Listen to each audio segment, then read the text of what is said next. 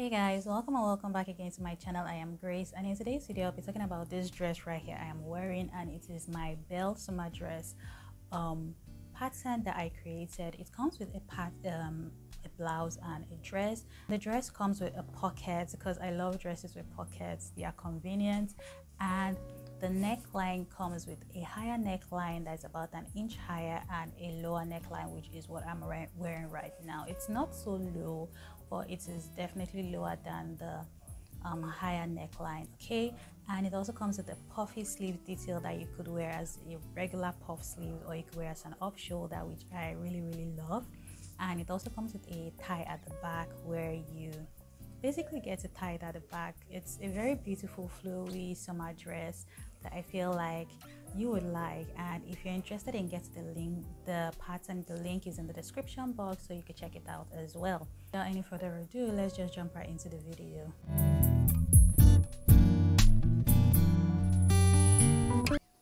So we're going to start off with the front bodice and for this you'll be cutting out your main fabric and your lining as well and you'll be tracing out the side darts and the front darts together. You'll pin them um, together like so then you sew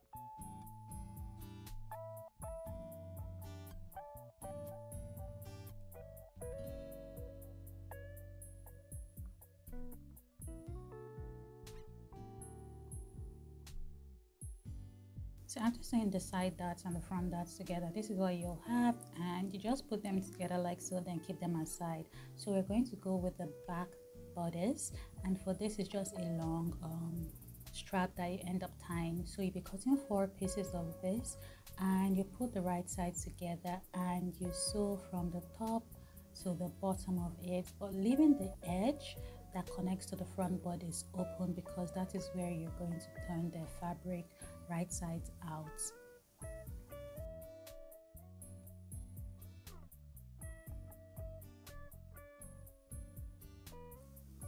So before turning it right sides out, you clip the edges like you can see me do, then you just turn it right sides out. And after doing so, you just iron it. You pull the edges out first, then you iron it like so.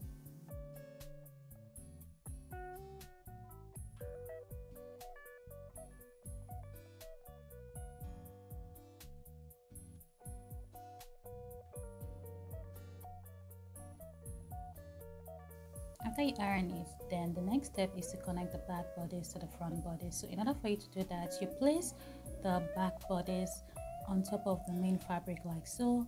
Then you sandwich it in between the main bodice and the lining together. Then you pin them like so.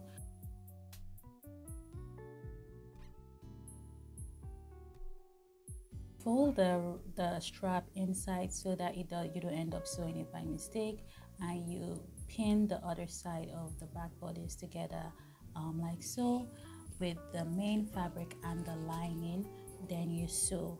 So for the sides and the top part you sew on a half an inch seam allowance but for the armhole area you sew on a quarter of an inch seam allowance leaving another quarter of an inch seam allowance to connect to your sleeves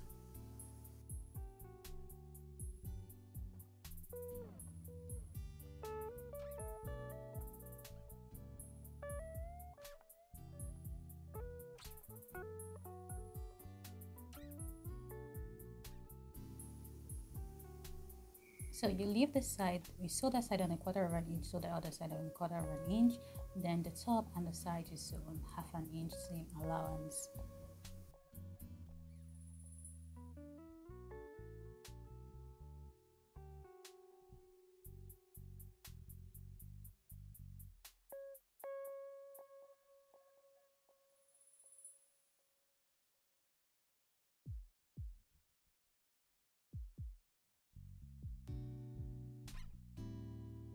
After you're done sewing, the next step is to create a clipping notch notches on the top side and the armhole area.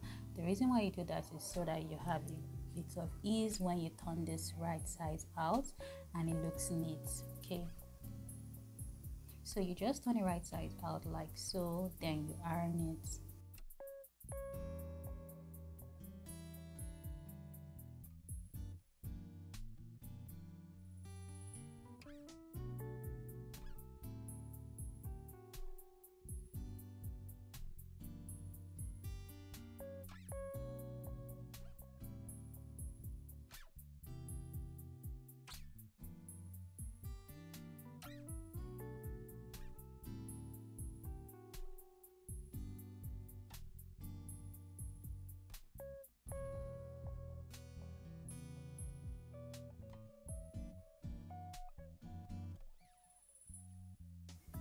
So now for the sleeves, you're going to work with it. So for the side notches created, you connect the two side notches together by folding the fabric like this.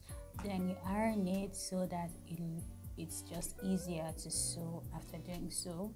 Then you just use your ruler and your chalk to connect the notches on the left side to the notches on the right side. You'll see what I mean, just like this. It makes it easier for you to know where to sew on.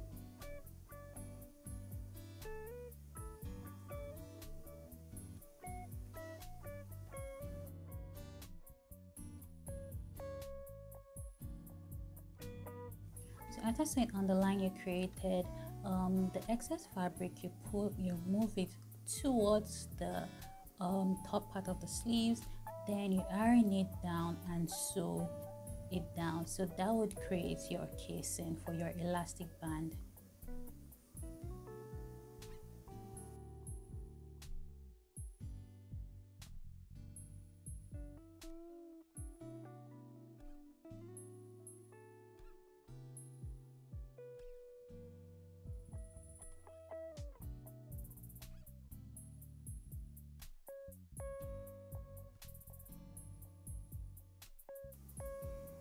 After doing that, this is where you should have a neat finishing for your casing there. And the next step I'm going to go in is to um, hem the bottom. So you're going to fold it first using a quarter of an inch seam allowance. Then you fold it again with another quarter of an inch seam allowance. Then you hem it. So basically you'll be folding the hem twice with a quarter of an inch seam allowance on each fold.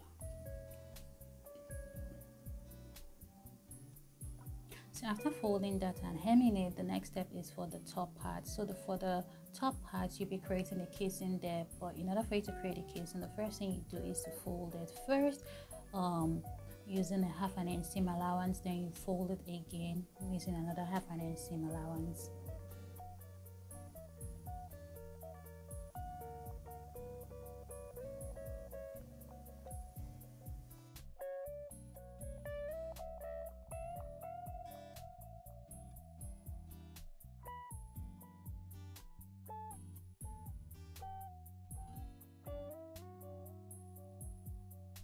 So after sewing it down, the next step is to insert the casing to um, the top parts of your sleeves and the middle second casing of your sleeves. For the, for the second casing, which is what I'm doing right here, I'm going to take the measurement of my biceps and that will be the measurement. Using my elastic band, I'm just going to um, um, put that around my biceps and um, cut that out. And for the top part, um, I'm also going to use the same measurement I use for my bicep minus an inch or two but it's also stated in the pattern the estimated um, length of elastic band you would need for both of them. So you just insert them there like so. Then you're going to use a french seam to sew the sides down. So basically what you start off by doing is sewing with um, right wrong sides facing each other and you're going to sew on a quarter of an inch seam allowance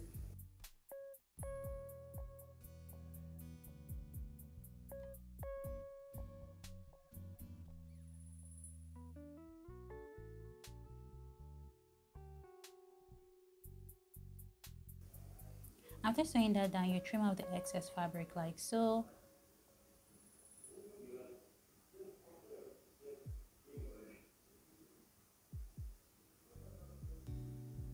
After trimming out the excess fabric you turn it over with right sides facing each other and you sew on a quarter of an inch seam allowance again and that is your French seam. So after doing that the next step is to connect the sleeves to the um, bodice and you're just going to pin the middle part first then you pin the right the edges together then you sew.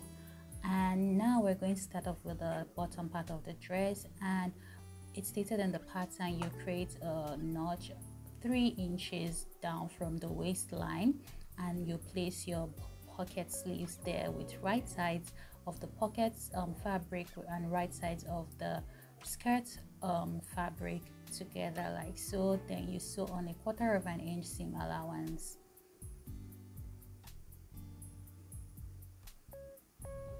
so basically what I'm doing right here is making sure that the pockets for both the front and the back bodies aligned. it's just something I like to do um, for every skirt I make or every dress I make with the pockets um, I just want to make sure that the notches I created align with the pockets itself okay? So after sewing the pockets um, to the main fabric of the first tier of the dress um, the next step is to gather the top part of the second tier of the dress to align with the bottom part of the first tier of the dress. And once I am okay with the alignment I sew it down using a half an inch seam allowance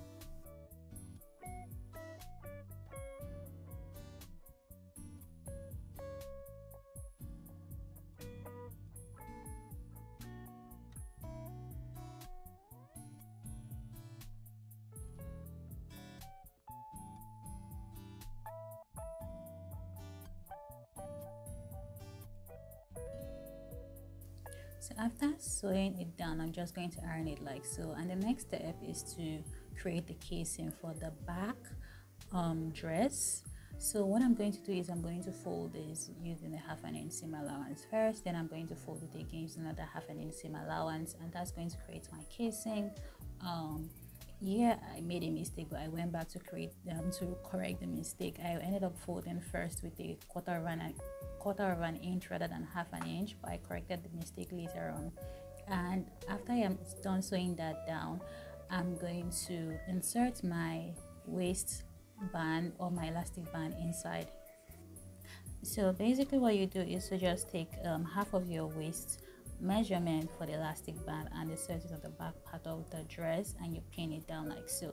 So after doing that the next step is to connect the front bodice to the front um, bottom part of the dress and I'm just going to gather it to um, match the waistline of my bodice so after it's aligned I'm just going to pin it down and sew it down like so. So after doing that I'm just going to connect the back bodice to um, the front, the back um, part of the skirts to the front part of the skirt like so and I'm pinning them down and I'm going to sew using a half an inch seam allowance.